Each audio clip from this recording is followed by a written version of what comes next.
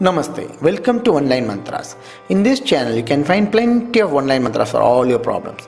The symbol of Uttarashada or Uttara Ashada is elephant trunk with tusk. So keep a photo of a male elephant in your pocket. Now, let's see the best mantra for Uttarashada. Uttarashada Nakshatra is being ruled by Vishwadeva, the universal god. Those who are born on this Uttarashada Nakshatra need to please the Adidevata to get the best in their life.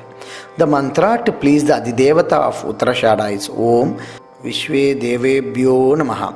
You need to chant the simple one line mantra 27 times a day till you achieve the desired result. Let's chant the mantra 27 times. Om Vishve Devebhyo Namaha.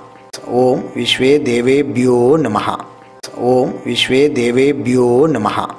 Om Vishve Devebhyo Namaha. Om Vishve Devebhyo Namaha. Om Vishve Devebhyo Namaha. Om Vishve Devebhyo Namaha.